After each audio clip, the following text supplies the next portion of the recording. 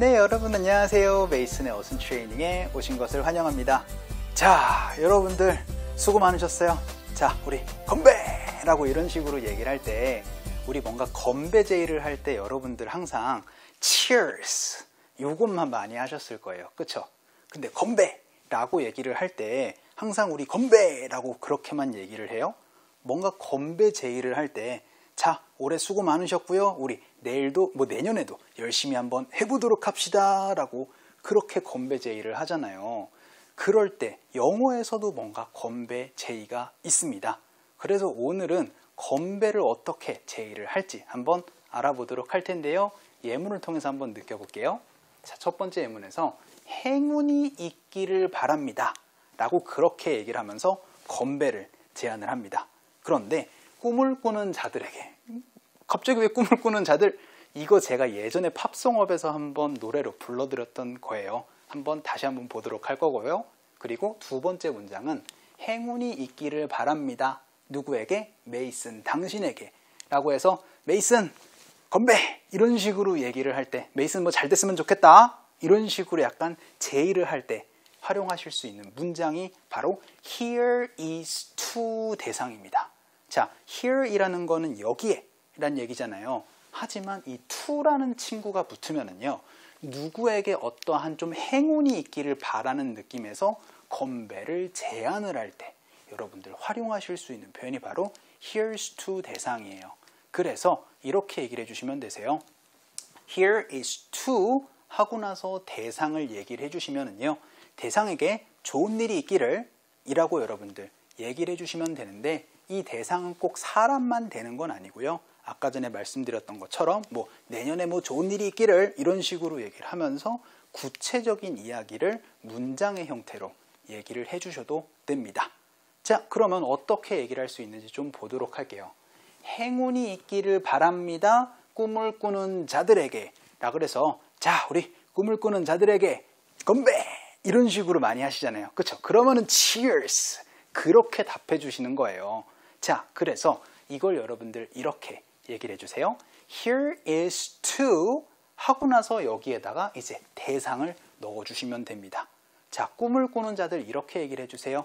The ones who dream 이라고 해서 Here's to the ones who dream 이라고 해가지고 기억나시나요? 랄라랜드의 Audition이라는 노래에서 여러분들 나왔던 노래가 바로 이 부분이었었잖아요. 그쵸? 그래서 자, 꿈을 꾸는 자들에게요. 경배!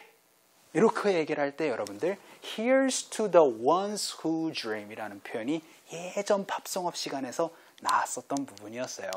자, 이런 식으로 Here is to 대상이라고 하면은 대상에게 건배 이런 식으로 얘기를 하면서 여러분들 좋은 일이 있기를 이렇게 여러분들 활용을 해주시면 됩니다. 자, 그럼 두 번째 문장에서는 직접 사람으로 또 얘기를 한번 해보도록 할 거예요. 그래서 또 똑같은 얘기예요. 행운이 있기를 바랍니다. 그래서 here is to 라고 하고 나서 메이슨 당신에게 라고 하는데 요거는 뭐 순서가 대체적으로 이렇게 얘기를 해주시면 좋겠습니다. You Mason 이라고 해서 사실 요거 Mason은 없어도 돼요. Here's to you. 건배! 이런 식으로 얘기를 할 때 그래 너를 위해서 건배!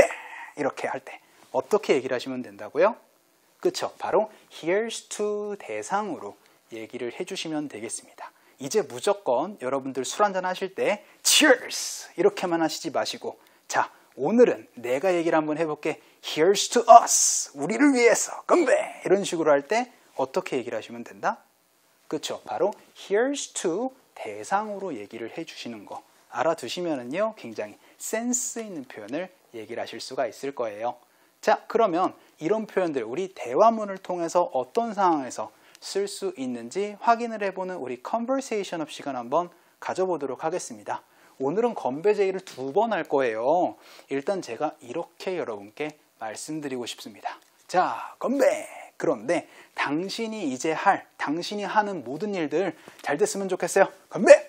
이런 식으로 얘기를 할 때 어떻게 얘기를 해주시면 되느냐? 이번엔 대상이 아니죠. 당신이 하는 일이라고 얘기를 해서 그렇게 얘기를 하실 때는요. 이렇게 얘기를 해주시면 좋아요. Here's to all that you do 라고 하면 당신이 하는 모든 일이라는 표현을 이렇게 얘기를 하실 수가 있거든요. 그래서 here's to all that you do 라고 하면은 당신이 하는 모든 일 잘 되셨으면 좋겠어요. 건배! 이런 식으로 얘기를 하면 여러분들 여기에는 굉장히 많은 표현을 얘기를 할 수 있는데 아까 전에 제가 했었던 표현 중에 하나입니다. 자, 우리를 위해서 건배! 영어, 영어로 어떻게 얘기를 하시면 되겠어요? 그렇죠? 바로 here's to us라고 얘기를 해주시면 됩니다. 여기에서 살짝 조금 보도록 할까요?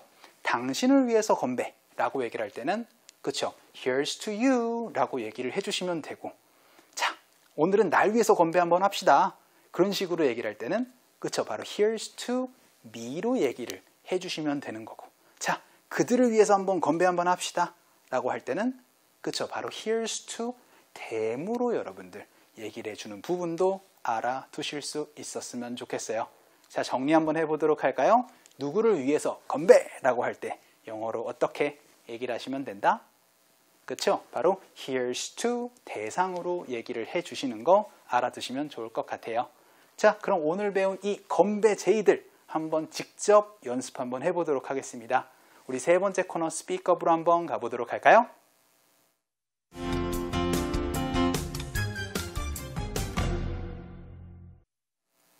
자, 여러분과 제가 직접 떠들어보는 우리 스피크업 시간입니다. 첫 번째 문장 노래에서 배웠었죠? 우리 꿈을 꾸는 자들에게 건배 라고 그렇게 얘기를 할 때 영어로 어떻게 얘기를 하시면 된다? 그렇죠? 바로 Here's to the ones who dream 이런 식으로 얘기를 해주시면 좋을 것 같아요. 자, 한번 연습 한번 해볼게요. 갑시다. 시작. Here's to the ones who dream. 한 번만 더. 시작. Here's to the ones who dream 이라고 얘기를 해주시면 되세요. Here's to the ones who dream 이렇게 자 그럼 우리 두 번째 문장 한번 볼까요? 자 메이슨 당신에게 행운이 있기를 당신을 위해서 건배 영어로 어떻게 얘기를 하시면 되죠? 그렇죠? 바로 Here's to you 라고 얘기를 해주시면 되겠습니다. 한번 연습 한번 해볼게요. 갑시다. 시작 Here's to you 한 번만 더 시작. Here's to you 라고 얘기를 해주시면 되고 마지막에 이름은 얘기를 하지 않으셔도 괜찮은 부분이에요. 자 그럼 우리 마지막 문장 어떤 거 배웠었죠? 그쵸? 바로 당신이 하는 모든 일에 행운이 있기를 이라고 할 때는 어떻게 얘기를 하시면 된다고요? 그쵸? 바로 here's to, here's to 하고 나선 all that you do 라고 얘기를 해주시면 됩니다. 자 한번 연습 한번 해볼까요? 갈게요. 시작. Here's to all that you do. 한 번만 더. 시작. Here's to all that you do. 라고 얘기를 하실 수 있고요. 우리를 위해서 라고 할 때는 그쵸? 바로 Here's to us 라고 얘기를 해주시는 부분도 같이 알아두시면 좋겠습니다. 자, 이제 앞으로 여러분들 건배 제의를 할 때 영어로 어떻게 얘기를 하시면 된다? 그쵸? 바로 Here's to 대상 하면서 이렇게 건배를 해주시면 좋겠습니다. 자, 오늘 수업은 여기까지 하도록 하겠습니다. 여러분들 너무나 수고 많으셨고요. 우리 또 다음 시간에 뵙도록 할게요.